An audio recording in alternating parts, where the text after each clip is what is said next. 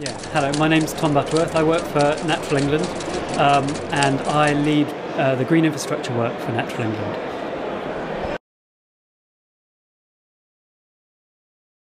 Yeah, we've got very good evidence actually now. We've got evidence that uh, green infrastructure can play a key role in improving air quality, uh, decreasing surface water runoff, um, uh, providing great places for people to be, improving their health and well-being, improving social cohesion, and all of these have economic impacts.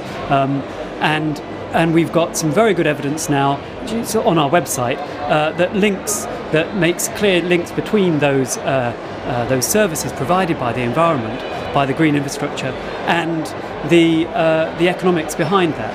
And not only that, but we can actually start to, we've got evidence now that starts to uh, underpin uh, our understanding of how these green spaces support economic growth as well, showing that they catalyse economic growth through uh, decreasing costs um, for uh, environmental uh, protection, for improving um, uh, health benefits and so on, uh, as well as creating jobs and encouraging inward investment. So, so know, we've got evidence at a range of scales. We've got some really lovely examples of where these two are coming together, um, both in this country and, and from elsewhere in the world. Um, we've got great study in New York looking at both grey and green infrastructure and looking at how they can decrease surface water uh, runoff uh, in New York.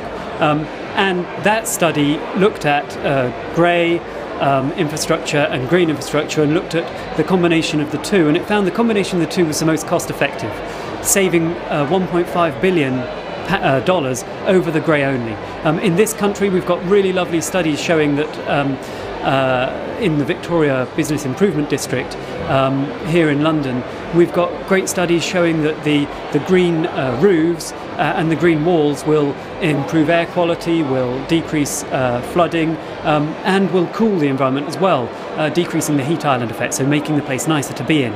Um, and this, so so we've got not only good examples, but this is being put into practice now as well, um, and being paid for by a whole range of organisations, from businesses to uh, local authorities, um, and being designed by the local community as well, which is even better. That green infrastructure can't happen without the grey infrastructure.